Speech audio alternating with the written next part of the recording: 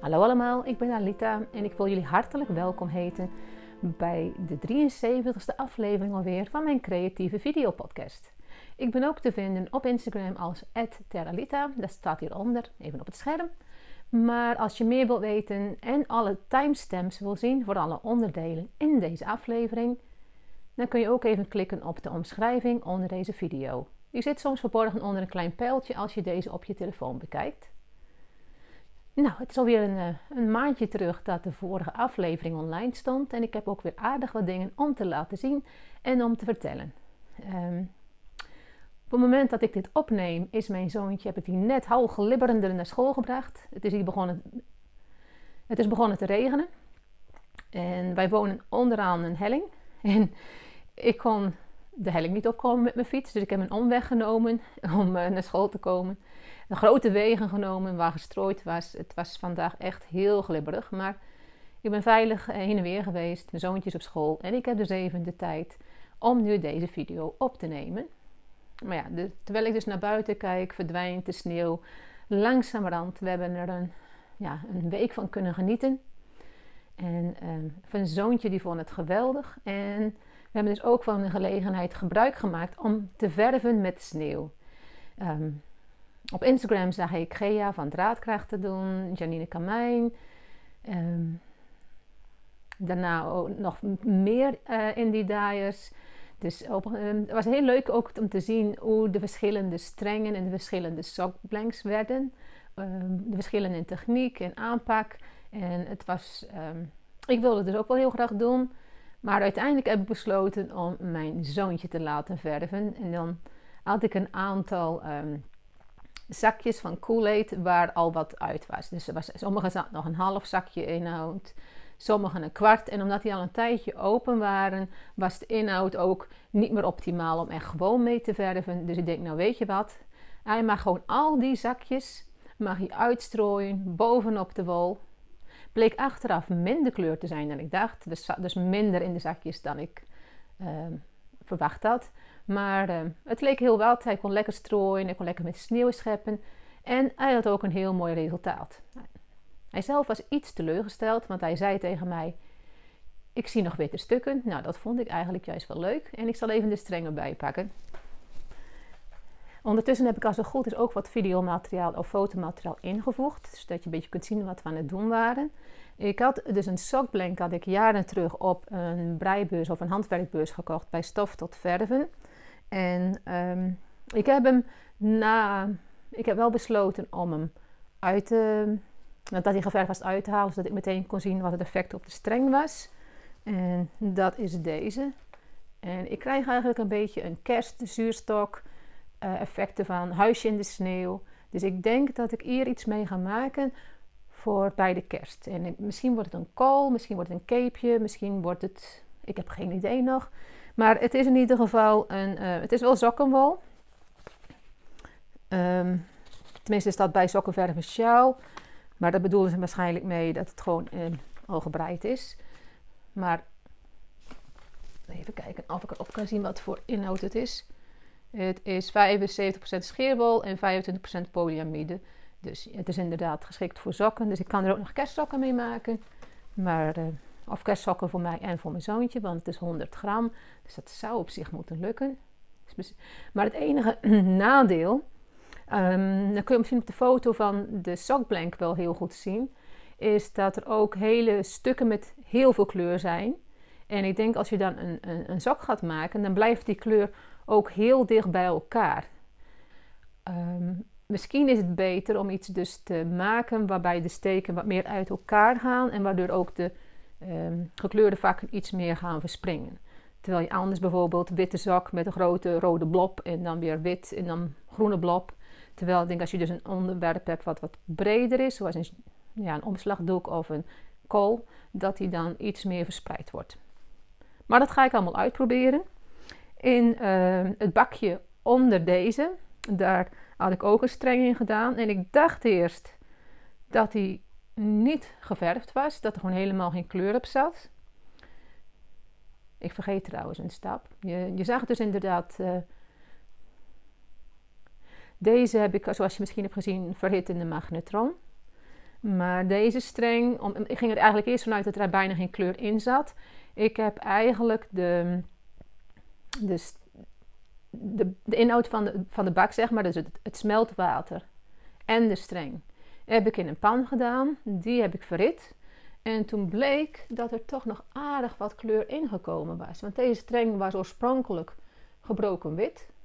Maar ik zie nu heel veel mooie zachte tinten erin. Dus uh, dit was een streng met uh, Fairtrade wol die ik op de Weversmarkt had gekocht. Toen de, waarschijnlijk twee jaar terug. En ik moet zeggen dat ik dit wel een heel mooi subtiel resultaat vind. Dus twee leuke strengen met het sneeuwverven.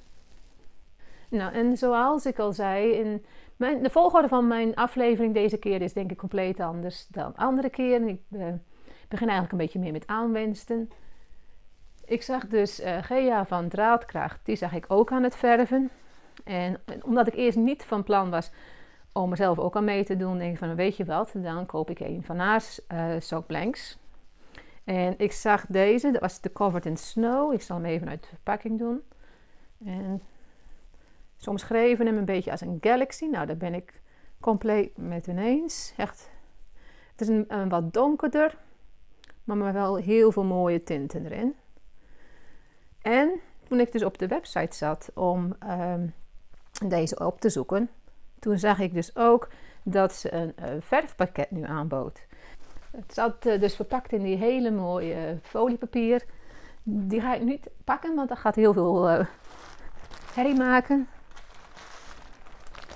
Nou, in, het, in de verpakking zit dus in principe alles wat je nodig hebt om zelf wol te gaan verven. En normaal geeft zij workshops op hobbybeurzen of op locatie. Maar dat is natuurlijk door de, uit, de, de huidige situatie niet mogelijk met alle maatregelen. Dus had zij een pakket samengesteld. En ik was wel heel benieuwd van wat erin zat. Dus die had ik ook in mijn winkelwagentje gedaan. En, en nou, die wil ik dus nu even laten zien. En eh, bij het pakket zat ook een video waarin ze de technieken laten zien. Dat was uh, een hele goede toevoeging. En um, er zit dus in een streng van Merino Sock. En die is 85% superwash merino en 15% nylon. Is een hele lekker zacht materiaal. En um, een voordeel van superwash merino is dat het ook kleur heel sterk opneemt. Dus dat je hele mooie verzadigde kleuren krijgt. En dit is een, uh, ook een merino sok, maar dit is een iets andere combinatie. En dit zijn vijf minis. Deze zijn uh, eh, 20 gram elk en uh, ze zijn 75% superwash merino en 25% nylon.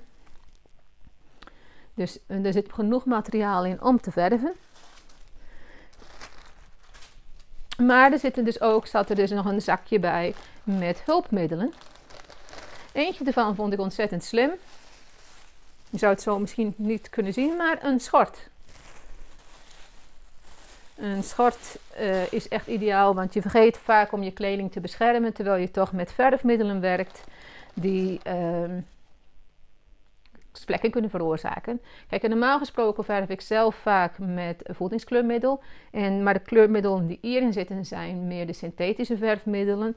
Dus dan is het ook ontzettend handig dat ze dus meteen bakjes bij heeft gedaan. Ik zelf vind het geen prettig idee dat ik uh, bakjes gebruik die ik normaal ook voor mijn voedsel gebruik. Om die te gebruiken met synthetisch verfmiddel. Dus ik vond het echt ideaal dat ze er ook meteen bakjes bij heeft gedaan. In verschillende kleuren. Dus kun je ook nog denken van oh de groene zit die kleur in en de paarse zit die kleur in. En er zit uiteraard dus ook um, verfpoeder bij. Dat witte, ik weet niet of je dat goed ziet, dat is citroenzuur. En dat um, gebruik je dus om de wol voor te bereiden. Dat legt ze ook allemaal uit in de video die ze dus meelevert. En um, ik heb gekozen voor de kleuren rood, blauw en geel. Want ik ga dus zelf mixen. Maar de pakjes en kleurmiddel. Handschoenen, ook ontzettend handig. Ik vergeet vaak mijn handschoenen aan te doen en dan heb ik al een handvol met vlekken voordat ik echt begin. En daar zitten er ook nog een aantal kwasten bij. En met die kwasten kun je dus de verf aanbrengen. Want uh, dit is dus eigenlijk een techniek dat je dus de verf in bakjes doet en dat je er echt lekker mee gaat schilderen en mee gaat stempelen. Dus ik vind dat de set heel goed is samengesteld. Ik zal binnenkort ook even een video maken met dat ik ermee aan de slag ga. Ik heb eigenlijk een heel scala aan verfvideo's die ik uh, gepland heb voor dit jaar. Ik wil dus een video maken met dit pakket. En dan is mijn bedoeling. Ik had uh, een video gezien waarin de primaire kleuren op een bepaalde manier gemixt werden. Die wil ik graag uitproberen op deze strengen. En ik heb een video, uh, video gepland waarin je gestreepte sokken of gestreepte wol, uh, zelfstrepende wol, waarin je zelfstrepende wol, hoe je die, die voorbereidt en hoe je dat verft. Het is alleen wel een hele tijd terug dat ik het heb gedaan. Dus het is voor mezelf ook eventjes weer dat ik nu goed kan noteren hoe ik het deed en hoe ik het doe. En ik neem jullie gewoon mee in dat proces. Een video over met zwart voedingsmiddel die ik de vorige heb beloofd, die staat gelukkig inmiddels online. Degene met de veelgevraagde vragen, die moet nog online en daar hoop ik deze maand nog aan te werken. Maar een van de vragen blijft altijd van hoe zit het nu met de houdbaarheid van de kleuren? Nou, als je al een paar afleveringen hebt gekeken, weet je dat ik daar een experiment over heb lopen.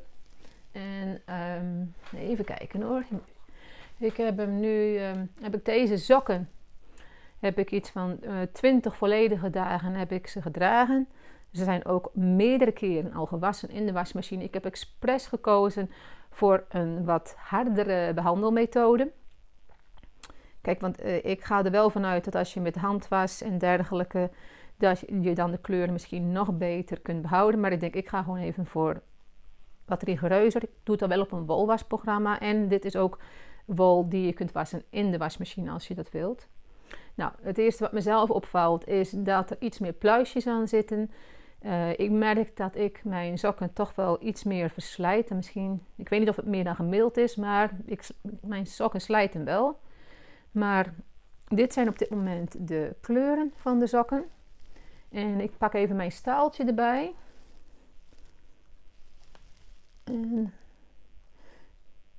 Als ik echt heel kritisch kijk, dan heb ik wel het idee dat er ietsjes, ietsjes verschil in kleur is.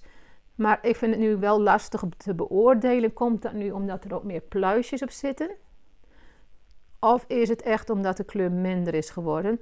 Als ik een, een kleur aan moet wijzen die ietsjes zachter is geworden, is het deze groentint. Die vind ik um, ietsjes minder fel. Maar over het algemeen vind ik als je dus je sokken toch al meerdere keren hebt gedragen en meerdere keren hebt gewassen, ben ik zelf best wel tevreden over hoe de kleur zich houdt. Dit is dus geverfd met uh, voedselkleurmiddel. Mijn zoontje had deze toen geverfd toen hij wilde weten hoe bepaalde kleuren van Wilton uh, mixten. En de hakken en de teen, die waren met een bolletje dat ik al een tijdje terug had geverfd.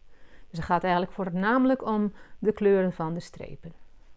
Maar dit is zover mijn experiment is. Ik denk dat ik er eigenlijk het nu niet echt meer bijgehouden.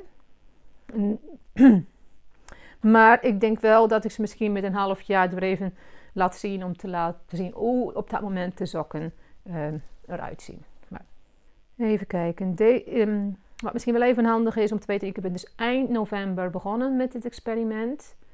Dus dan hebben we heel december, heel januari en een groot deel van februari. Dus dit is drie maanden. Dus ik denk dat het handig is dat ik bijvoorbeeld nu in drie maanden, um, dat ik er dan even weer op terugkom. Zoals ik al zei, het loopt nu even een klein beetje door elkaar deze aflevering. En ik denk dat ik dan ook eventjes gewoon verder ga met aanwinsten. In um, augustus 2019 had ik de, de de Yarn Club van Starfiber Studio had ik aangeschaft. De Yarn Club is altijd wel een klein beetje een verrassing. Ze laat dan een plaatje zien met haar kleurinspiratie. En toen ik die zag, um, had ik meteen zoiets van, ja, die wil ik graag hebben. En toen die binnenkwam, vond ik het ook ontzettend prachtige streng. Alleen, het is een enkele streng. En ik merk nu dat ik toch wel graag aan projecten werk Ehm, of het nou een grote omslagdoek is of een truitje, waarin meerdere kleuren nodig zijn. Dus uh, de enkele streng was een beetje enkel en ik wist eigenlijk niet precies van wat ga ik er dan nu mee maken. Want ik had ook gekozen voor een, een single, dus dat wil zeggen dat is ongetwijnd. En het is 100% uh, merino. En dat is dus niet geschikt dat je zegt van ik maak er even een paar, uh, paar sokken mee. Ik bedoel, sokken en 100% merino is in mijn geval geen goede combinatie.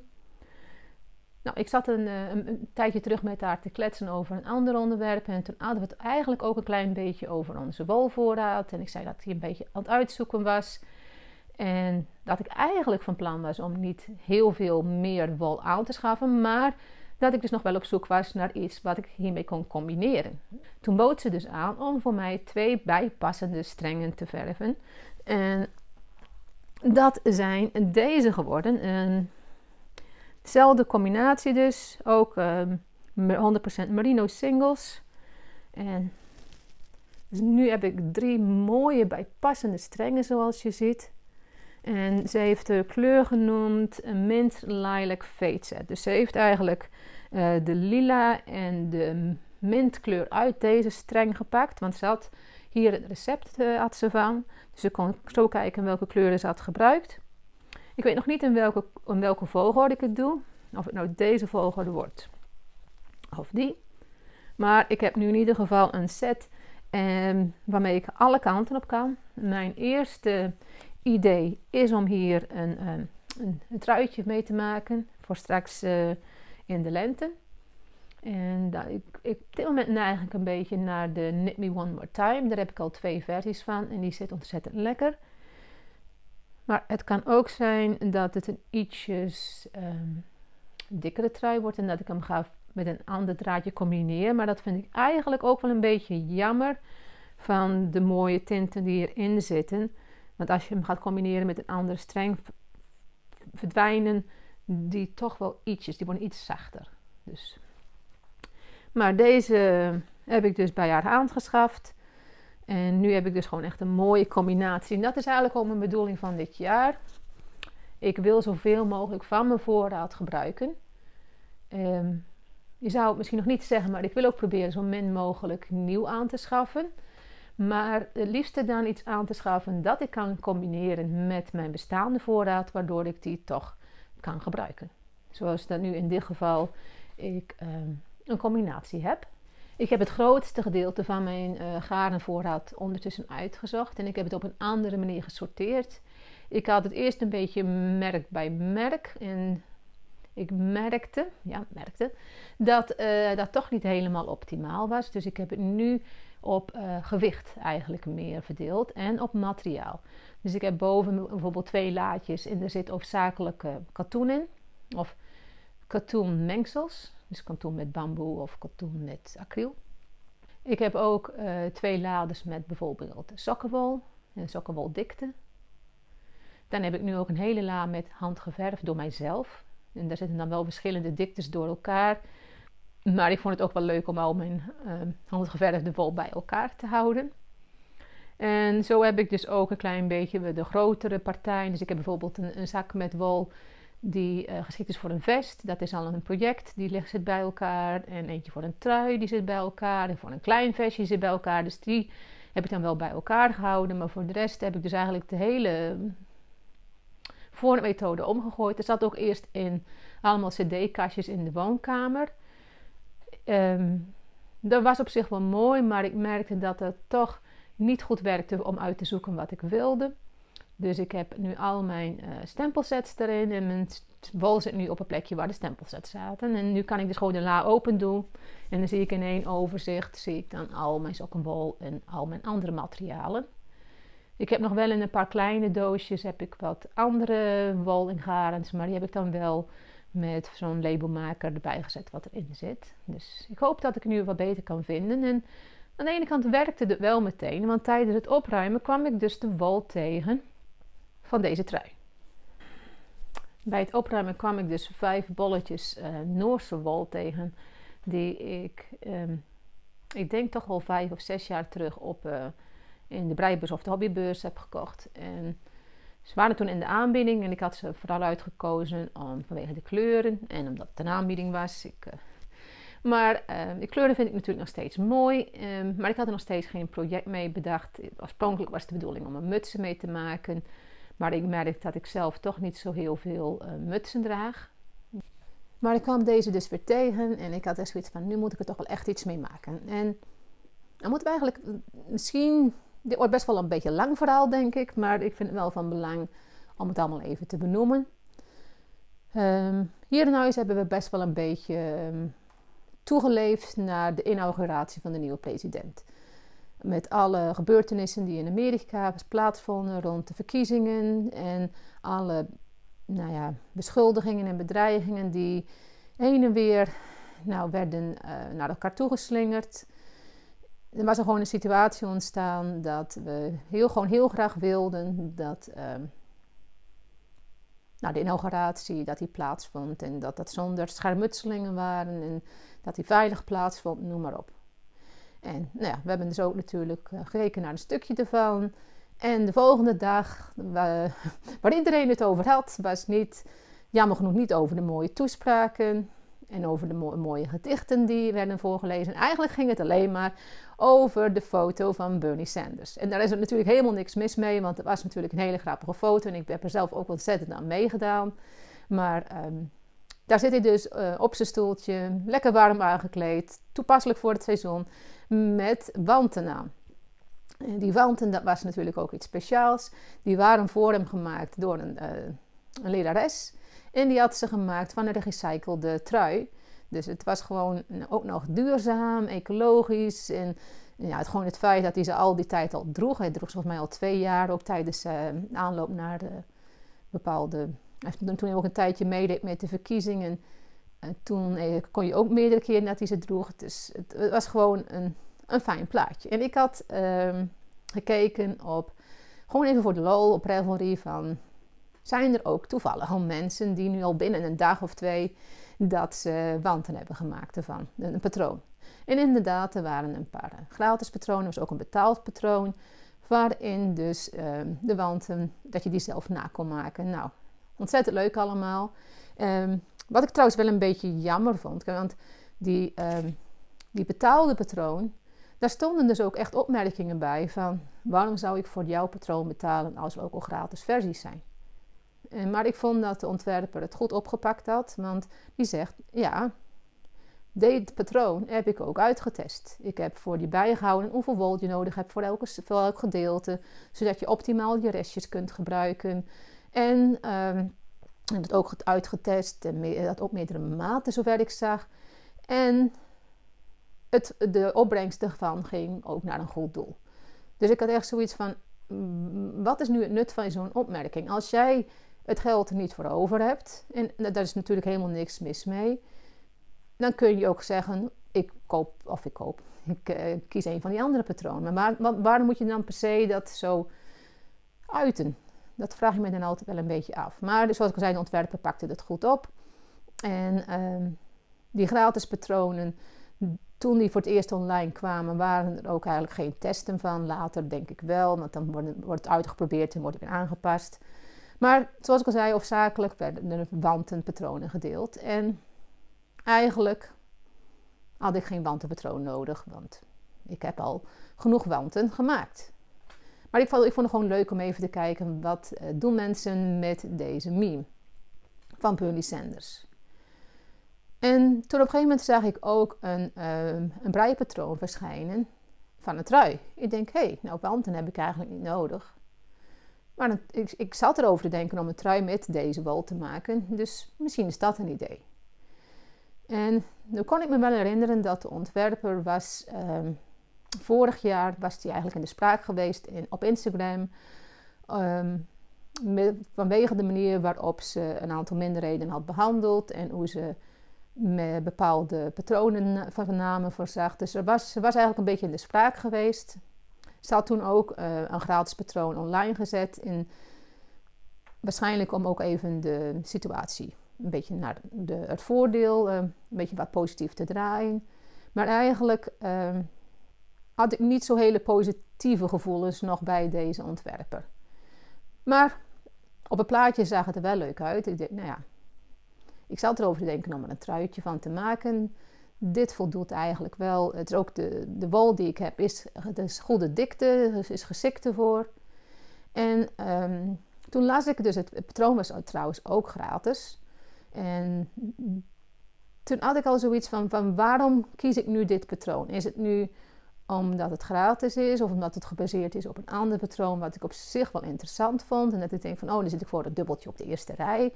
Ik zat eigenlijk een beetje al te twijfelen aan mijn eigen motivaties van waarom ik nou dit patroon uitkoos. En, maar ik had zoiets van, nou, dit is wel geschikt. En ik uh, had uh, aanwijzingen uit het patroon gevolgd. Er stond wel bij dat het patroon niet was getest. Ook niet bij uh, deze dikte, want het was een iets andere stekenverhouding. En zoals ik al zei, het was dus gebaseerd op een ander patroon.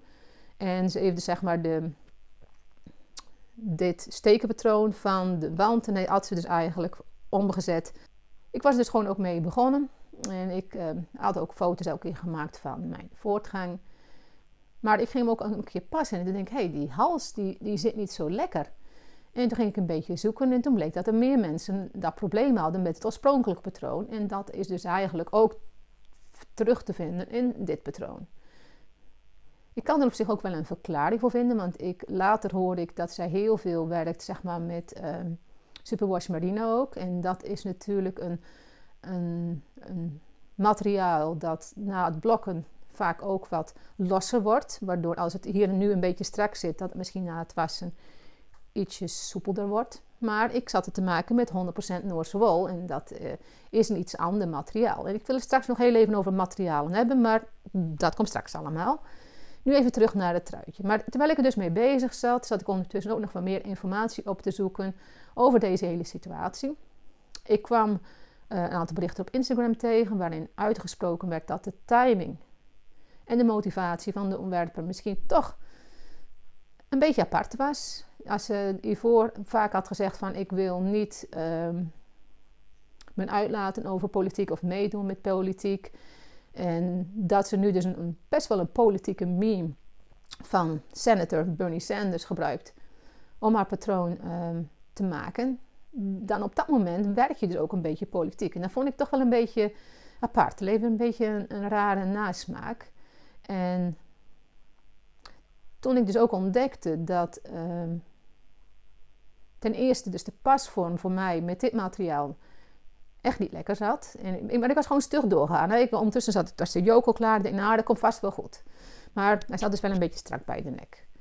En ondertussen kwam ik ook in een thread terecht, onder andere op Reddit. Ik kwam in een thread terug um, op Ravelry. En daar kwam zij en heel veel andere ontwerpers die in de afgelopen 1 2 jaar um, op Instagram voorbij kwamen, omdat ze toch, voor sommigen was het de reden hoe ze omgingen met minderheden, voor sommigen ging het om hoe ze omgingen met een personeel, voor sommigen weer hoe ze omgingen met, nou ja, in ieder geval er waren dus heel veel um, ontwerpers die de revue passeerden en zij hoorden daar dus ook bij. En eigenlijk op, een gegeven moment um, zat de trui dus letterlijk en figuurlijk niet meer lekker. En ik, eigenlijk zat ik al bij de boord maar ik was eigenlijk ook niet helemaal blij met hoe ik dit, de, het lijfje had gemaakt. En ik was eigenlijk ook niet zo blij met hoe de plaatsing van bepaalde patronen op de jook zat. Dus ik had echt zoiets van, nou weet je, als ik deze trui echt met plezier wil dragen, dan moet ik er nu mee stoppen. Ik, mijn eerste plan was van, nou, ik maak hem gewoon af. En als ik hem dan deel, zeg ik er gewoon niet bij van welk patroon ik heb gebruikt. En, uh, maar ik denk, de, waarom zou ik dat doen? Ik, als ik iets maak, wil ik ook ervan genieten. Uh, wil ik er fijne herinneringen aan hebben, want je bent natuurlijk best wel een tijdje ermee bezig. Ik wil het ook optimaal kunnen delen op uh, Instagram en social media. Dus ik heb toen de rigoureuze stap gezet van ik, ik haal hem gewoon helemaal uit. En ik ga op zoek naar een ander patroon die ik kan gebruiken voor deze wol. Ik had ook uh, een tijdje terug had ik het hele mooie e-book gekocht van um, Tin Can Knits. En dat is Strange Brew. En vanaf nu wordt het verhaal iets positiever trouwens. maar um, toen ben ik gaan kijken van hoe werkt dat? Nou, die Strange Brew had ik dus toen aangeschaft met het idee om zelf trui te gaan um, colorwork jokes te gaan ontwerpen. Dit, mooie um, Fair Isle en dergelijke. En ik heb hem dus als e-book. Ehm, als je hem aanschaft, uh, normaal gesproken is er gewoon één boekwerk. En er zitten dus verschillende patronen zitten erin. En er zit zeg maar een recept in om zelf aan de slag te gaan. Als je maar zo'n e-book doet, zijn het losse onderdelen. Dus je hebt zeg maar, je hebt het complete, e wat normaal het drukwerkboek is, die heb je als een compleet bestand. Je hebt het recept als een los bestand en je hebt alle patronen van de trui en de mutsen als losse bestanden. Dus het is wel heel makkelijk, want dan kun je gewoon uitprinten wat je nodig hebt. En ik vind het zelf heel prettig om aantekeningen te maken op een patroon. En in een boek ga ik dat niet zo snel doen. Dan zou ik weer een kopie moeten maken van de pagina van het boek. Dus, maar wat ik dus wel heb gedaan, het uh, recept heb ik uh, op klein formaat even voor mezelf uitgeprint. En dit is dus waarin um, bijvoorbeeld staat voor verschillende diktes wol. Dus Aran dikke draad, DK is eigenlijk maar twee keer zo dik als sokkengaren en sokkengaren. En dan kun je aan, op basis van jouw maat, want daar begint het eigenlijk ook mee, van hoe, um, hier staat dan ook een hele maattabel. Enige nadeel, het is allemaal in inches, niet in centimeters. Dus dat ik dan wel weer een beetje jammer, maar als je eenmaal weet dat een inch 2,54 centimeter is, kun je op zich wel makkelijk uh, omrekenen. Maar hier besliste je dus van welk uh, formaat je wilde maken en dan uh, welk garen. En dan kies je dus zeg maar of je vanaf beneden naar boven of boven naar beneden. Dus ik heb hier ehm, gekozen voor, ik, ik wilde, wist ook dat ik een wat bredere hals wilde. Ik kon altijd nog een sjaaltje erin of eronder doen. Of uh, een, een blouse. Maar ik, vond het zelf wel fijn dat de hals wat wijder is. Dus uh, op, ik kon dus nu zeg mijn helemaal mijn trui samenstellen. En daarna heb ik gekeken bij de bestaande patronen. Die dus ook bij de e-book horen. Van wat voor soort ontwerp mij aansprak. En toen vond ik zelf van de Marshlands vond ik wel heel mooi. De Marshland is oorspronkelijk wel een patroon voor wat dikker garen, is die ontworpen. Dus ik heb dus niet de instructies in de Marshlands patroon uh, opgevolgd. Ik heb hem dus meer gebruikt voor uh, het ontwerp van de yoke. En ik weet ook niet wat de Nederlandse naam van een yoke is, maar het is in ieder geval deze pas. Volgens mij is het een pas. En ik heb hem dus ook niet helemaal letterlijk opgevolgd. En ik kwam ook meteen in een. Dus in principe, wat, het, enige blaadje van dat patroon wat ik dus heb uitgeprint is dus uh, de, de chart, zeg maar, voor mijn maat. En ik heb die dus ook niet helemaal gevolgd. Ik heb dus ook gekeken van um, waar, vind ik de bepaalde. Dus soms heb ik bijvoorbeeld een rij langer gemaakt of een rij korter. En ik heb ook een, daar heb ik ook nog even advies gevraagd op Instagram. Ik kwam dus, ik zat dus hier en ik moest hier tussen die twee blauwe stukken zaten twee witte steken. En dat moesten er vier worden. Maar als ik echt de letterlijke patroon zou volgen, dan zouden er dus twee meerderingen naast elkaar zitten. Dus een steek, meerdering, meerdering en een steek. Ik denk, dat krijg ik nooit naar mijn zin. Ik kan bijvoorbeeld de knit from back gebruiken, dus dat je in de voorste en de achterste steek breidt. Maar dan zit er een soort averecht steekje tussen. En dat vond ik niet zo mooi als ik echt bijvoorbeeld twee steken zou maken van de draad, dan komt er een soort gaatje. Dat vond ik ook niet mooi. En uh, ik, zat al een beetje te neigen om zelf een beetje te gaan sjoemelen met de steken. En er waren ook daar wat suggesties van uh, in mijn Instagram. Dus ik had zoiets van, dat doe ik gewoon. Dus wat ik nu heb gedaan is, uh, ik heb een steek gemaakt, steek gebreid, steek gemaakt, steek gebreid. En daardoor ehm, heb ik dus nu van twee naar vier steken zonder dat het heel duidelijk zichtbaar is. Als ik dit patroon nog een keer zou maken, zou ik waarschijnlijk iets aanpassen. Ik zou dan waarschijnlijk maar één steek gemeten hebben op dit punt. En daaronder misschien pas die andere steek. Want ik vond het nu wel een hele, hele snelle meerdering. En op zich is het daar wel lekker bewegelijk allemaal. Pasvorm is heel goed. Maar ik denk toch dat ik hem ietsjes geleidelijker zou doen. En ik ben dus ietsjes eerder gestapt met. Ehm,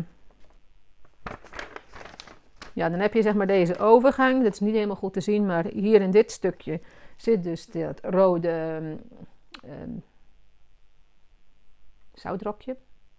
Er is een andere naam voor, maar ik ben even de naam kwijt. Maar in ieder geval die rode vlakjes. En dat was de bedoeling dat het patroon nog veel verder zou gaan. Maar ik heb dus toen besloten om te stoppen uh, hier bij de lila. En ik, dus dan stop je er ook hier bij de mouw. Toen heb ik het, de trui heb ik gewassen en geblokt. En ik wilde namelijk eerst weten hoe is de pasvorm, hoe is de lengte van de mouw.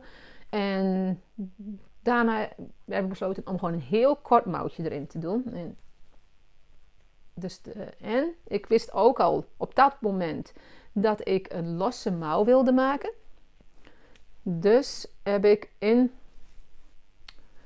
deze boord. Die boord is bijvoorbeeld zeven rondes. Dus ik heb eerst drie rondes gebreid. Daarna heb ik een ronde met yarnovers gedaan, waardoor er knoopsgaatjes ontstonden. En daarna heb ik weer drie rondes gebreid en heb ik afgehecht. En de reden waarom ik die uh, kleine blauwe steken tussendoor heb gedaan, is, uh, je hebt natuurlijk de hele tijd heb je collarwork gehad, wat natuurlijk ietsje strakker breidt. Nou, tenminste natuurlijk, in mijn geval ietsje strakker breidt. Dan gaan ze gewoon recht toe recht aan, rondbreidt. Bovendien was dit witte gaar, dan was wat soepeler. Dit, um, alle gekleurde garen is dus de Noorse uh, sokkenwol, de Dalegarn. En de witte is de Drops Charisma, de gebroken wit. Ik denk, nou, die is ook iets, ietsje soepelder. En ik was eigenlijk bang dat het truitje dan een beetje dit ging doen. Dus dat het een beetje wijd uit ging lopen. En ik denk, nou, weet je wat ik doe? Als ik dus uh, klein af en toe gewoon dus blauwe, lichtblauwe steekjes toevoeg. Dat is niet zo heel veel verschil met de witte. Dat het niet echt ontzettend door gaat schijnen, al die draden die erachter lopen. Want je hebt natuurlijk wel heel veel draden die daar dan lopen. En op die manier kan ik zeg maar het een beetje in de perken houden met hoeveel die uit gaat waaieren. En um, ik vond het ook wel een heel leuk effect. Dus ik heb dit patroontje zelf een beetje bedacht. Ik had het een beetje uitgeschreven op een papiertje. En het, werkte heel goed. Maar dit was dus in principe de, lengte van uh, de mouw. En uh, daarna heb ik, want ik had dus nog aardig wat restjes over. En toen ik die eerste versie van die trui maakte, toen had ik dus live ook allemaal in gekleurde vakken gedaan. En ik, ik vond dat achteraf vond ik dat toch heel uh, druk staan. Het, het, bleef gewoon, mijn oog kreeg niet echt veel rust. En daardoor was dan misschien wel allemaal garen op.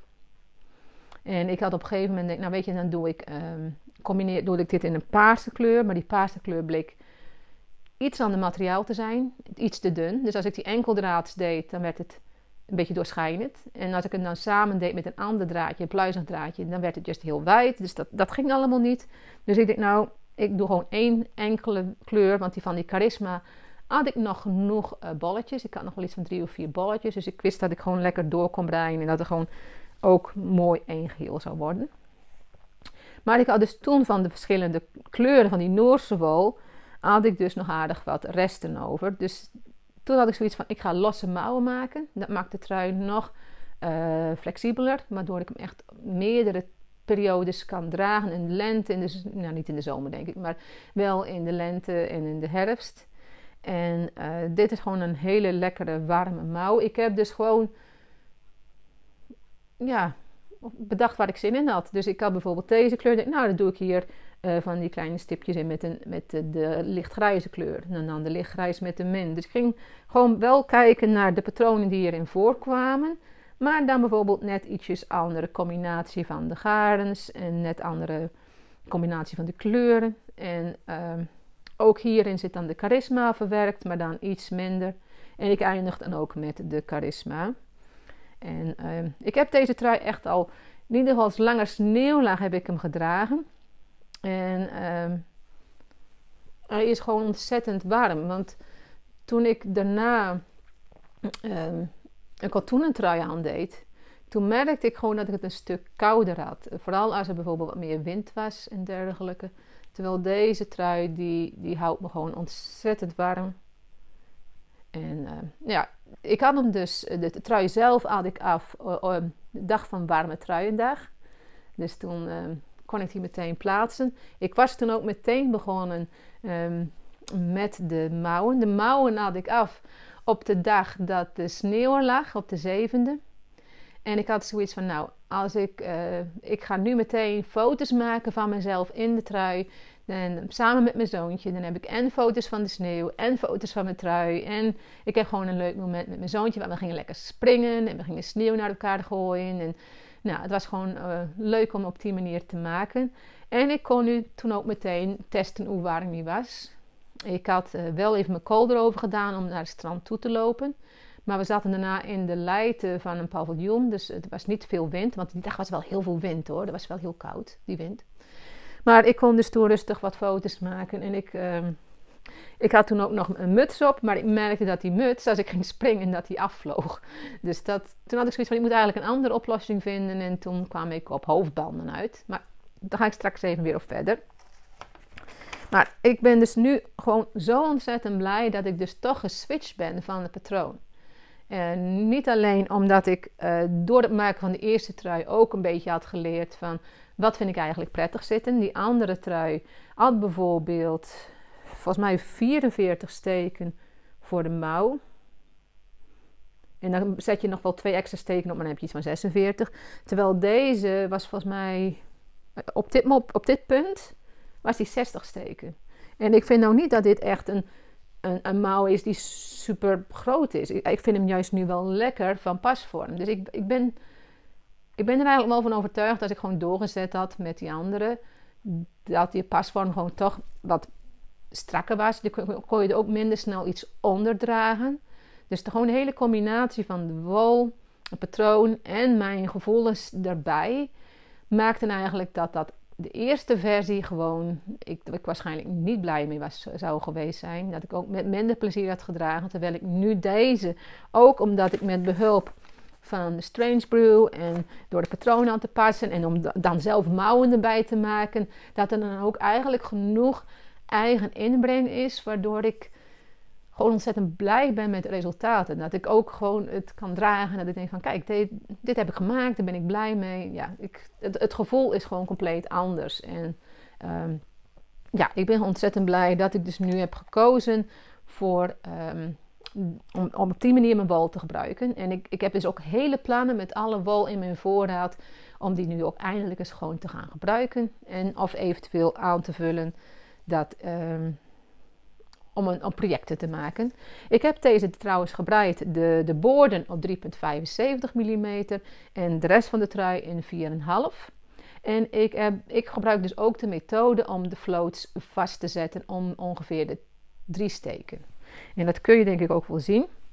Um, ja, ja, dat is dan wel een nadeel, vooral op die lichte. Kijk, op dit donkere kun je het eigenlijk niet zien, maar op dit lichte kun je het wel zien, wat misschien nu wel makkelijk is voor de video. Maar je kunt wel zien dat hier heel klein fijn een draadje doorloopt. Want hier heb ik hem vastgezet. Nou, hier zit een vijf steken tussen. Dus dan heb je hier zeg maar, hier, hier is je steek. Hier zet ik hem vast. En hier is weer een steek. En je ziet dus dat hier een klein, dat hier een beetje doorheen loopt. En ik, ik brei dus ook met twee handen. En dan moet je dus voorstellen dat de, de hoofdkleur heb ik in mijn rechterhand. Dat kan ik iets sneller mee breien. En de, dat zou dus dan de wit zijn geweest in dit geval. En dan in mijn linkerhand heb ik de mintkleur. En dan als dus zeg maar de derde tussensteek komt, dan sla ik snel de blauwe steken heel even eromheen. En dan brei ik weer verder. En op die manier zet ik ze vast. En uh, een groot voordeel is dat je je draadspanning dan in mijn geval ook wat gelijkmatiger blijft. En dat doe ik eigenlijk dus bij alle, alle patronen. Dus hier heb ik het ook gedaan.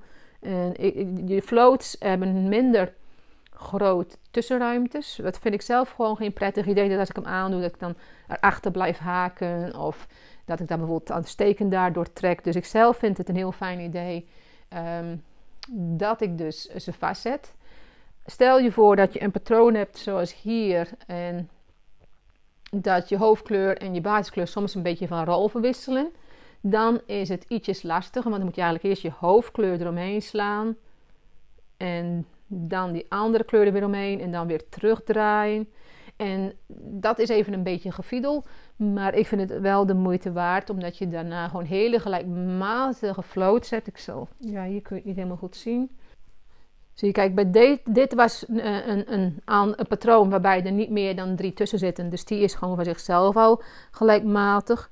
Maar ik denk dat je hier wel kunt zien dat die af en toe gewoon vastgepakt is op bepaalde plekken. Maar je krijgt dus nog steeds wel een heel regelmatig resultaat. Vooral als je dus consequent doorvoert. Kijk, als jij zegt de ene keer doe ik bij de tweede steek en de andere keer bij de vierde steek. Dan zul je wel merken dat het... Uh, dat het misschien wat uh, rommeliger gaat ogen. Maar als je het gewoon consequent op dezelfde plek doet, dan krijg je ook aan de binnenkant gewoon hele mooie gelijkmatige float, zeg maar. En ik weet eigenlijk niet wat de Nederlandse naam van float is, maar in ieder geval de tussendraden tussen je steken. Maar, uh, en ik denk eigenlijk dat wat ik nu heb gedaan met die mouwen, dat ik dat ook vaker toe ga passen op mijn toekomstige projecten. Ik was eigenlijk geïnspireerd door een, een, een vestje wat ik van iemand had gezien. Dat vestje had van zichzelf het ongeveer dit formaat mouw. Het is een beetje een, een driekwart. En er zat dus een los stukje bij om uh, zeg maar een volledige mouw van te maken. En, en, daar was ik dus eigenlijk een beetje door geïnspireerd. Ik weet niet van welk merk dat truitje is. Het was wel een gekochte trui. Maar ik denk wel dat ik dit toe ga passen op um, diverse projecten, omdat je op die manier gewoon een heel flexibel kledingstuk krijgt. Nou, best wel veel over deze trui. Toen ik het trouwens tijdens die winterdagen droeg, had ik mijn omhelzingkool hieronder zitten. Dus die droeg ik zeg maar eerst de omhelzingkool en dan de trui eroverheen. Waardoor ik ook nog extra warmte hier om mijn nek had. En ik had op een gegeven moment had ik gewoon een klein dun sjaaltje eromheen. Die ook in kleuren die hierbij passen. En dus op die manier kon ik gewoon um, de warmteniveau opbouwen en afbouwen afhankelijk van het weer. maar door dit hele project ben ik wel een beetje meer gaan kijken van wat vind ik nu belangrijk in uh, mijn ontwerpen die ik kies, maar ook in het materiaal wat ik gebruik. En ik ben me ook een beetje gaan verdiepen in eigenlijk superwash merino en uh, gewone merino en gewoon in superwash wol op zich. Ik zal onderin bij de omschrijving een video, een artikel linken uh, over het verschil tussen de twee producten. Want eigenlijk, ik, ik, maar ik neigde om vooral uh, merino te gebruiken en heel veel superwash merino ook. En ik heb er ook heel veel voorraad dus nu van en die ga ik gewoon ook lekker gebruiken. Maar na het breien van deze trui in 100% wol merkte ik eigenlijk hoe fijn dat product is. Ik had eigenlijk ervoor ja, niet een weerstand, maar wel zoiets van nou, dat zal nooit zo lekker op je huid zitten en dat is kriebelig. En ik had allemaal eigenlijk hele verhalen in mijn hoofd erbij. Maar toen ik dit mee bezig was en ik merkte hoe warm het in de winter is en hoe fijn het uh, toch wel aanvoelt, um, was ik eigenlijk wel een beetje om. Dit is trouwens alles wat er over is van volgens mij drie à vier bolletjes uh, charisma en vijf bolletjes van de Dalegarden. Ik heb hier, ik zie wat van de mint heb bijvoorbeeld dit over. Ik heb wel expres gezorgd dat ik over zou houden, zodat ik kan stoppen of herstellen. Even kijken, dit is dus um, 100% nieuw Norwegian wool. En die andere kleur is dus, zoals ik zei, is Charisma van Drops. En even kijken of ik zo kan zien. Ja, dit is dan wel Superwash Treated Wool Classic. Wel 100% wol, maar hij heeft dus wel een behandeling ondergaan. En ik zat me dus een beetje te verdiepen in uh, Superwash eigenlijk. En um, ik, mede ook uh, doordat Esther van Star Fiber Studio had er ook al een heel onderdeel van. En uh, er zijn dus verschillende manieren om wol superwash te maken, maar ik had me eigenlijk nooit in verdiept van wat er nou eigenlijk was. Ik wist alleen dat het handig was, omdat je het dan in de wasmachine kunt doen. Maar toen ik daarna een beetje in ging lezen, blijkt dat je dus wel de wol, afhankelijk van de methode, want er zijn dus verschillende methodes, maar uh, je verandert dus wel de eigenschappen van de wol. En uh, dus ook soms het, het warmteniveau en de structuur en hoe de. Want ik merkte dus ook al dat deze wol toch wel anders reageerde dan bijvoorbeeld deze. Maar er zijn dus verschillende methodes. En dat is natuurlijk wel belangrijk om dat te onthouden. Want sommige van die methodes zijn uh, ook best wel milieuvervuilend. Terwijl er ook methodes zijn die dat niet zijn. Dus alleen het is heel lastig. Omdat er niet echt altijd op het label staat van welke methode is gebruikt. Dus um, maar wat ik dus van begrijp, de meest gebruikte methode is eigenlijk dat je, dus in sommige haarproducten zijn er producten waardoor je een laagje aanbrengt op je haar. Zo is dat natuurlijk, uh, zo is dat dus ook met de meest gebruikte superwash methodes. Je brengt een laagje aan op de wol. Je dus eigenlijk daardoor gewoon de hele werking van de wol verandert.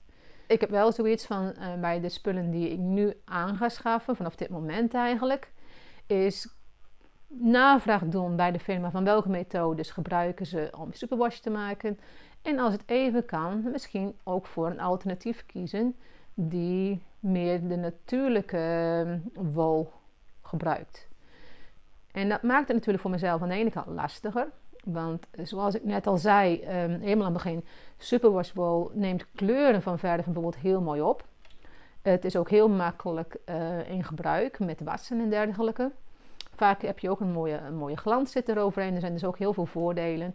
Maar het nadeel is dus wel dat afhankelijk van de methode dat het meer belastend is voor de natuur. Maar ik wil dus wel um, bewuster vanaf dit moment uh, mijn garens kopen. Het, zal, is, het is geen rigide regel, dus ik zal er niet altijd mezelf te dwingen, maar ik wil er wel meer op letten. En ook als ik bijvoorbeeld twijfel, dat ik dan contact opneem met te maken van hé, hey, wat, wat, voor methode gebruik je en uh, mochten ze dat bijvoorbeeld nog niet uh, op een website hebben staan. Dus ik wilde gewoon wel wat meer aandacht aan doen en natuurlijk gewoon ook mijn voorraad gebruiken, want uh, spullen die je hebt is dus het beste om te doen. En over duurzaamheid gesproken, maar Marleen van um, Studio Lief had een heel mooi gesprek ook hierover, over dit onderwerp. Daar zal ik in de omschrijving een link naar doen. En dat um, was een klimaatgesprek wat zij met een ontwerper had. En dat was ontzettend interessant. Dus daar zal ik even ook de link naartoe zetten. Nu zit ik eigenlijk te twijfelen, wat is nu uh, het beste om hierin over te gaan. Ja, kijk maar bijvoorbeeld um, over de wolgebruiken die je hebt. Mijn moeder had uh, dus een pak met wol liggen voor mijn zoontje om een trui te maken. Die heb je in de vorige aflevering gezien. En eigenlijk wilde, die, wilde hij die eerst niet aan, want hij vond die een beetje prikken. Niet omdat het wol was, het was eigenlijk meer acryl. Maar het, het was wat stugger acryl. En eigenlijk, hij wilde hem eerst niet aan. Maar toen het zo koud werd, toen had ik zoiets van, nou weet je wat, dan doe je lekker... Uh, ik had zo'n flanellen blouse, had ik. dan doe je die eronder, dan je trui erover. Nou, dat vond hij zo lekker warm. En door het dragen en het gebruiken, toen aan het einde... Uh, toen wilde hij mij niet meer uit. Was hij gewoon lekker soepel en draagbaar geworden. Dus uh, dat vond ik wel heel fijn. Want natuurlijk al die, het werk dat mijn moeder in die trui had gezet, wilde ik ook dat hij gedragen wordt. En het bleek dus in die combinatie met die flanellen blouse... was hij gewoon toch lekker warm voor de winter. Dus bijna, ja, voor mij heeft hij hem wel drie of vier dagen achter elkaar gedragen. En dat vond hij gewoon lekker warm. En de laatste dag had hij hem zelf zonder het blouse aan. Dus toen was dat hele kriebelfactor was blijkbaar weg. Want toen kon hij hem gewoon op zijn huid verdragen. Ik denk dat je er ook wel een beetje aan gewend raakt. Aan, uh, aan materialen. Al zal ik er uh, op in, in dit gebied, blijven bij mij altijd heel gevoelig trouwens. Dan moet ik wel, daarom heb ik ook bewust dat ik hier uh, voor de wat de iets zachtere wol gekozen. Uh, omdat ik wist dat die het meeste op de huid zou, uh, zou wezen. En uh, in, in, de categorie van dat ik dus ook mijn voorraad wil gebruiken. ik merkte dus dat de muts bij mij toch wat minder praktisch was. Dus um, toen ben ik hoofdbanden gaan maken. En, ik had een aantal bolletjes van, met dikke wol van 50 gram. Um, Waar ik niet echt meteen een duidelijk doel mee had. Maar ik bleek dat ik met, nou van mij 40 gram ongeveer, dus of afhankelijk van hoe groot die werd, kon ik dus een hoofdband maken. Dus dat heb ik ook gedaan. Ik heb in totaal, heb ik denk ik, um, nu zes hoofdbanden gemaakt. Ik heb een aantal ervan ook uh, verkocht. Want ik kreeg dus een berichtje van, hey, maak je ze ook op bestelling? Toen zei nou, dat is wel goed. Ik zal even laten zien welke materialen ik heb. En op basis van die foto hebben ze dus dan uh, ze hebben een hoofd opgemeten en uh, op basis daarvan heb ik dus de hoofdbanden gemaakt. Kijk, deze twee die had ik ook al gedeeld op Instagram. Dat zijn eigenlijk die ik voor mezelf had gemaakt. En ik heb hier dus van deze, wat over was van die twee bolletjes, die heb ik nog samengevoegd tot eentje. Maar ik weet nog niet, ik denk misschien dat ik dit wel gewoon weer uithaal. Want uh, eigenlijk, ja, het winterweer is nu eigenlijk weer voorbij. Dus ik denk, nou, kan ik dit beter gewoon weer een bolletje van maken. Maar deze heb ik wel met veel plezier gedragen. Was er net even wat warmte over je oren. En um, wat ik dus eigenlijk hiermee deed, ik heb dus zo'n klein, um, het is eigenlijk bedoeld als speelgoed, maar het is een soort machientje om te breien in de ronde. En die deed ik meestal met wat dunnere wol. En dan droeg ik hem als kleine sjaaltjes en dergelijke. Dit is trouwens ook wel echt de maximum dikte die je ermee kunt doen. Ietsjes dikker dan dit en je, je krijgt hem gewoon niet rond. Maar ehm, als je dus een iets dikkere wol gebruikt, dan blijft de structuur blijft dus ook wat. En dan is het ook de, net de goede breedte voor een hoofdband. En dan haak ik zeg maar uh, echt zeg maar de steken met de akennaald uh, echt ik ze af. En zo zien de steken gewoon daarvoor uit. En daarna zetten ze dus, um, als dit dan ook afgehecht is, dan zet je ze zeg maar half in elkaar. Dus dat je zeg maar twee C'tjes in elkaar hebt en die zet je dan vast. En dan krijg je dus zo'n leuk, uh, zo'n leuk effect hier. Dus daar heb ik dus uh, lekker wat bolletjes voor kunnen gebruiken uit mijn voorraad. Allemaal enkele bolletjes waar ik eigenlijk niet eens een doel mee had. Die heb ik toen, vooral aan het begin kocht ik ook heel gewoon van... Oh, dat ziet er mooi uit, dat zijn mooie kleuren, dat is, voelt fijn aan. Terwijl ik niet echt een doel had. Ik wilde dus ook eigenlijk wel... Had ik volgens mij vorig jaar ook al dat doel. Maar dit jaar heb ik hem weer eh, opnieuw afgestoft. Ik ga, als ik iets ga kopen, is het ook specifiek voor een bepaald project. En ehm, ik heb dus ook um, een aantal bolletjes wol van mijn moeder en van mij heb ik gecombineerd om een deken te maken. In de vorige aflevering zag je dat ik ook een deken had gemaakt met allemaal hele lange banen. Die ik dus met uh, de Eddie King had gemaakt. Dat is ook een soort breimachine. En uh, toen had ik hele lange banen gemaakt. Nu heb ik gewoon elk bolletje had ik gewoon... Um, was zeg maar een vak. En dat vak had ik dan met omgehaakt helemaal. En daarna heb ik dus ze bij elkaar gepast van welke kleuren bij elkaar stonden. En, we hebben dus in principe alle bolletjes van die dikte en die, dat materiaal, het meeste was 100% acryl, hebben we dus uh, samengelegd van mijn moeder en van mij. En hebben we dus één deken meegemaakt. En die deken heb ik uh, mijn nichtje voor haar verjaardag gegeven. En ze was ontzettend blij mee. Het is een dubbel dikke deken eigenlijk, omdat hij in de rond is en daarna wordt vastgezet. Dus hij is ook dubbel zo warm. En natuurlijk omdat, er ook, omdat hij dus dubbel laag is, kan er ook weer lucht tussen komen, waardoor hij ook nog extra isoleert. Dus het uh, was gewoon een hele behagelijke deken geworden. En uh, we konden dus wat van onze voorraad gebruiken. En het belangrijkste is dat de ontvanger er ook mee blij was. Over uh, verjaardagen gesproken. Een, een, goede vriend van me die was jarig en die had een uh, verjaardag op afstand. Hij had uh, bij sommige mensen had van tevoren een, een, een goodiebag gebracht met erin wat drinken en wat lekkers. En die had hij ook versierd met zelfgemaakte wasstempels. En daarna, op de dag zelf, gingen we dus via Discord, logden we in en konden we online spelletjes doen. En dat was ontzettend leuk. En ondertussen kon je dus je hapje en je drankje kon je nemen. Mijn zus die is uh, deze maand 50 geworden. En ik uh, had er volgens mij iets van genoemd dat ik dus dan uh, in de 50 dagen richting haar verjaardag dan elke dag een klein pakje gaf. Nou, dat, was, dat viel ook goed in de smaak. En op de dag zelf gaf ze zelf pakjes. En ze had een heel leuk pakketje. Ik zal even een foto invoegen.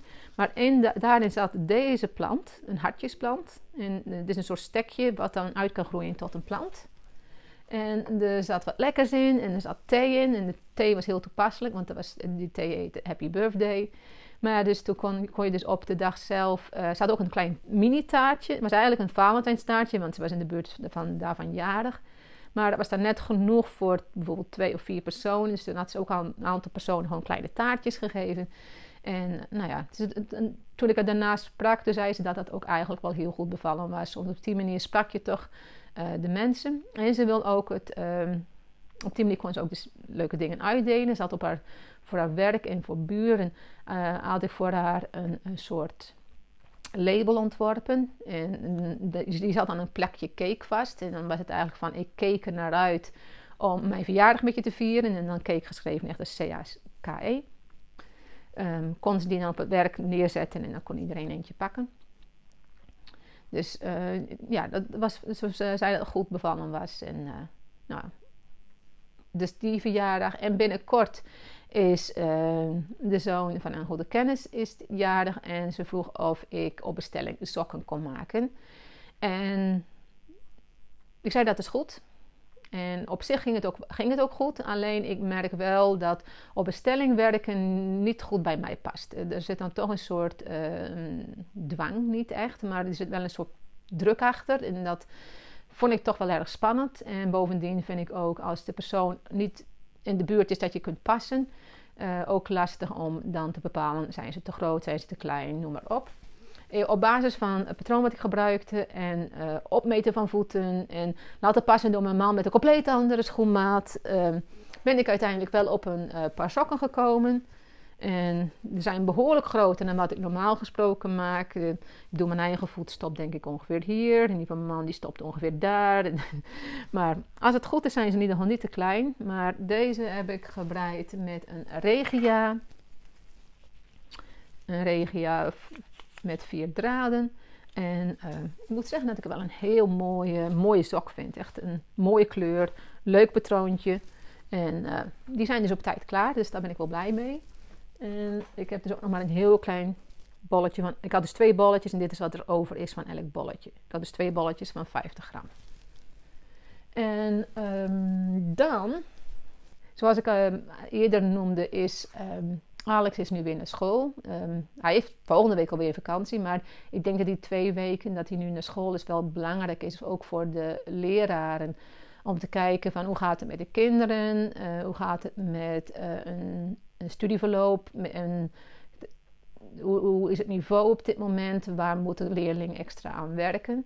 Dus ik ben wel blij dat de maatregelen um, dus daardoor aangepast zijn dat mijn zoontje weer naar de basisschool kan. Dat, uh, ik was eerst een beetje bang dat, hij niet, dat ik hem een beetje moest overtuigen om weer naar school te gaan. Nou, dat, was, ja, was wel grappig. Um, dat was de week ervoor en toen was net bekend geworden dat uh, die week erop ze weer naar school zouden gaan. En uh, normaal gesproken is Alex voor mij wakker beneden. En dan uh, mag hij even op zijn tablet tot ik beneden ben.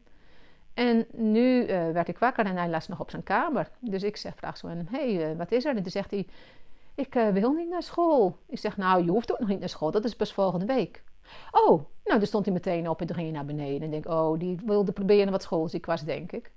Maar toen was ik wel heel blij, want die, die zondag voordat hij weer naar school ging, toen kwam natuurlijk al die sneeuw.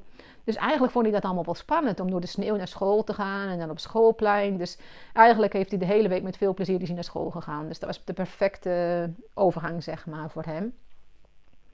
Dus dat ging allemaal wel goed. Nou, ik denk dat iedereen uh, die het nieuws heeft gevolgd wel heeft gehoord dat toen hier uh, op het dorp de avondklok werd ingevoerd, dat dat ontzettend uit de hand liep. Uh, het zou oorspronkelijk met een ludiek uh, protest beginnen, met uh, toeterende auto's en wat, wat vuurwerk. Waar, ik wil niet zeggen dat ik daar ook allemaal uh, voor ben, maar ik had zoiets van, nou, dat, dat was een beetje wel te verwachten, dat daar zo'n reactie zou komen. Maar het probleem was dat het er uit de hand liep. De politie moest er aan de pas komen. De, werd een, um, een teststraat werd in de, in brand gestoken. Um, en het, gewoon de hele situatie liep uit de hand. En uh, het is wel zo, de manier waarop dat toen aangepakt is en in het nieuws is gekomen. En ook de verontwaardiging die vanuit het dorp zelf um, hierover kwam. Want natuurlijk, um, het was niet, de merendeel van de inwoners uh, die was ontzettend geschrokken van hoe dit allemaal uh, was gelopen. En eigenlijk is het daarna hier ontzettend rustig geweest. Uh, in de avond is, gewoon, is het gewoon hier ontzettend rustig. Um, ik weet wel de, de avond dat de sneeuw is gevallen. Zoals ik zei, wij wonen onderaan een helling. Toen hoorde ik uh, midden in de nacht hoorde ik opeens wel wat rumoer van mensen die waarschijnlijk al aan het testen waren hoe glad het was. Maar dat is ook het enige wat ik dus uh, in de avonduren hoor. Uh, dus eigenlijk uh, daarna, na die beruchte avond en nacht, is er gewoon daarna het gewoon hier super rustig. Daarna braken overal in andere steden rellen uit. En toen was ook eigenlijk de aandacht hier een beetje weg. Maar het, sindsdien is het gewoon hier ook je merkt wel, en ik denk dat het ook wel landelijk is, dat er toch veel meer vragen komen over hoe lang dit, deze situatie zich voort kan zetten. En ik ben heel blij dat ik zelf geen uh, bestuurder ben en hier beslissingen over moet nemen. Ik zou het denk ik heel moeilijk vinden om dat te doen. Je hebt een soort verantwoordelijkheid, voor, niet alleen voor de mensen en zijn gezondheid, maar ook voor een welbevinden, in zowel economisch als geestelijk, als, nou ja, noem maar op. Dus uh, ik wens uh, alle bestuurders en regeerders heel veel uh, moed en kracht toe om met deze hele situatie om te gaan. Dus dat. nou, wat wilde ik graag? Ik heb het over het Alex gehad. ik denk, ik ga het over iets leukers hebben. Ik ga het hebben over um, de weggeefhoek. En over mijn moeder die dingen weggaf. En pakketjes uitdelen aan elkaar.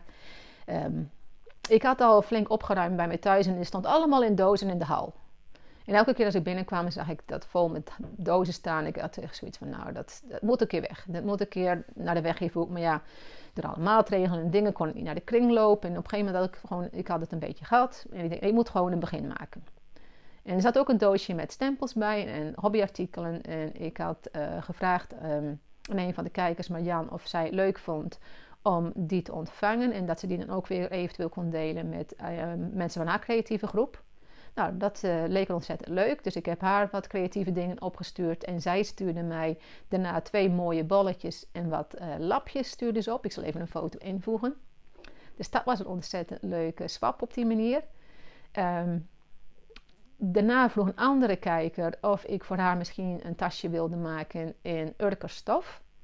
En uh, moest ik wel even goed nadenken hoe ik het wilde maken. Maar uiteindelijk heb ik die gemaakt. Heb ik ook een leuk pakketje meegemaakt. Want ik ontdekte dat ik ook nog een leuke urkerbeker had. En wat aanzichtkaarten en noem maar op.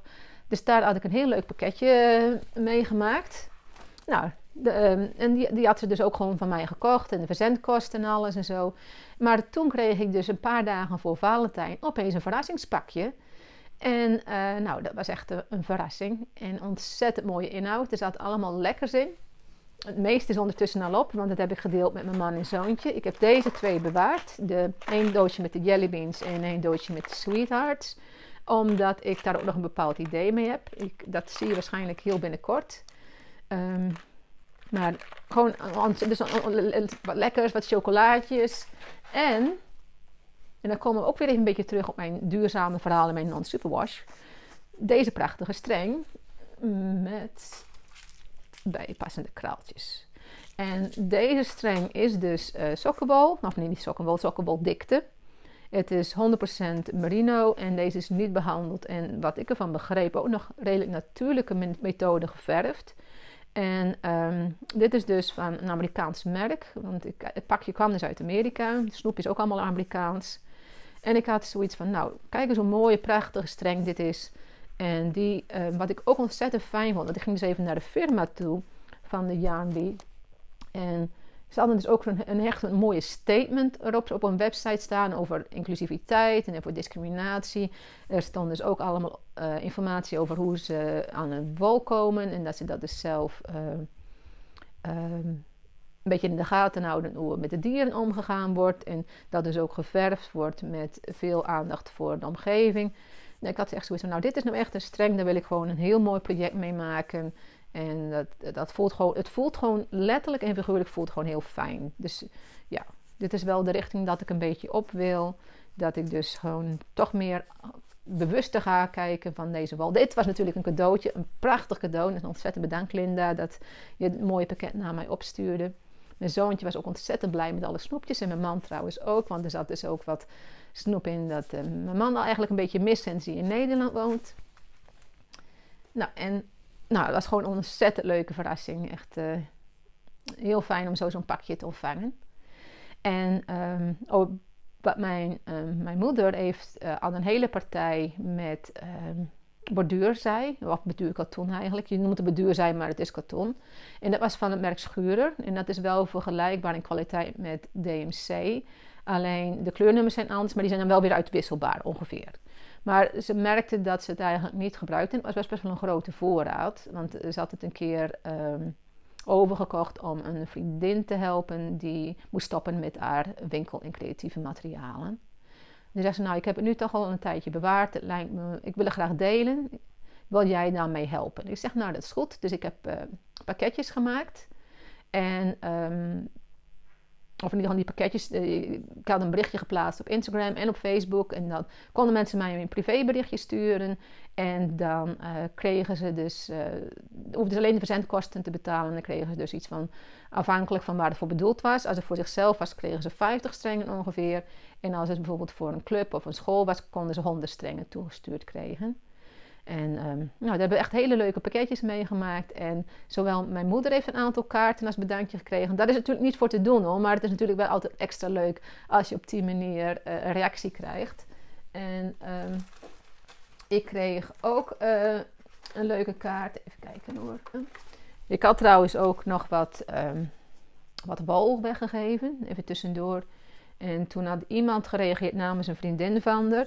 En uh, toen heb ik er een leuk pakketje van gemaakt. En toen kreeg ik ook nog van die vriendin kreeg ik gewoon een kaartje toegestuurd als bedankje. En zoals ik al zei, dat is allemaal natuurlijk niet verplicht. Dat is niet waar je het voor doet. Maar dat is wel ontzettend leuk. Maar deze kreeg ik dus van een van de mensen die ik uh, wat van de garen van mijn moeder had opgestuurd. En mijn moeder heeft zelf ook een kaart toegestuurd gekregen. En van een van de andere personen die vroeg van, uh, nou, breid je moeder nog, breid jij? En toen kregen we allebei kregen we een setje met leuke stekenmarkeerders. Hier staat op All You Need Is Love. En dit is een bolletje wol. En dit is een sjaaltje. Dus gewoon. Dus allebei in een envelop had ze twee setjes gedaan. Eentje voor mij en eentje voor mijn moeder. Dus dat, uh, nou, dat was gewoon dus een, echt een ontzettend leuke er ging natuurlijk wel wat tijd in zitten, want je maakt de foto's en je laat ze zien en wat voor kleuren wil je. En je maakt je pakketjes en je gaat naar de postkantoor en ondertussen hadden gesneeuwd natuurlijk. Dus dat was, heel, dat was even lekker door de sneeuw inglibberen en zo. Maar ehm, ik heb trouwens dus nog steeds een aantal pakketjes over en um, zal ik even laten zien. De, de meeste zal ik even een foto invoegen. Er zijn dus nog drie setjes met een fade.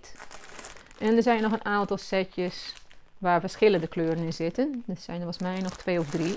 Dus als jij nou denkt van, hé, hey, dat heb ik helemaal gemist, maar ik wil graag ook zo'n setje. Het verzenden is 4 eh, euro. En je kunt even een reactie achterlaten van welke kleur, of je een setje wilt, dus met gemixte kleuren. En of eentje van andere kleuren. Die zal ik dus even op het scherm zetten. En dan kun je ook bij de omschrijving zal ik ze even noemen. En dan kun je in de reactie zeggen of je daar belangstelling in hebt. En dan eh, je mag me ook trouwens, misschien is dat wel makkelijker. Ja, ik denk dat het makkelijker is als je me gewoon een e-mailtje stuurt of een berichtje op Instagram. Uh, dat je belangstelling hebt in zo'n setje en dan kunnen we even adressen en gegevens uitwisselen. Ik heb hier trouwens in mijn hand nog de stekenmarkeerder die bij de wol zat van uh, Esther. Die had ik nog niet laten zien. En dat is met een heel mooi steentje. Helemaal zelf een mooi stekenmarkeerder meegemaakt. Die wil ik toch nog even laten zien. Nou, het enige waar ik het nog heel kort over wil hebben, is uh, als ik dan soms aan het, aan, het, uh, aan het breien zit, dan zit ik wel eens. Ik, oh nee, ik begin verkeerd. Vroeger hing er bij ons in huis een kalender. En dat was van een stichting, van mij die Steam Havo of iets dergelijks. Maar dat was voor schilders die met hun mond of hun voeten schilderen. En ik was altijd heel geïntrigeerd van hoe dat mogelijk was. Dat ze zulke mooie dingen konden maken met een mond of met hun voeten. Maar ik zat me dan wel eens af te vragen van wat zou er gebeuren als ik iets met mijn hand kreeg. Of ik zou hem bijvoorbeeld breken. En hoe, hoe, hoe, moet het dan met mijn creatieve hobby's? Met mijn brein en mijn haken. En nu kwam ik op YouTube opeens een video tegen. Van mij is het ook de enigste video op haar kanaal van die mevrouw. En dat is iemand die dus haar hand moest geamputeerd worden omdat ze er kanker in had. En die bleef maar terugkomen. En ik zal ook even linken naar die video trouwens. Maar zij heeft dus een methode gevonden dat ze dus met heen met één hand dat ze dan kan breien. En dan gebruikt ze dus een breigordel, die ook op de Shetland-eilanden uh, voorkomt. Dus dan zeg maar hier deed ze dan, ze breide dan wel niet met een rondbreinaald, maar met twee gewone naalden. Want dan kon je die zeg maar onder haar arm, kon ze dan, nee niet onder haar arm, dat had ze eerst probeert. Maar ze klemde dan de ene naald, klemde ze dus in die breigordel, de andere hield ze vast. Ze gebruikt ook zo'n breiring om de spanning erop te houden. Nou, het is gewoon heel intrigerend om te zien hoe zij dus breidt. Ze laat zien hoe ze de gewoon steek doet, hoe ze averecht, recht, uh, afkant, opzet.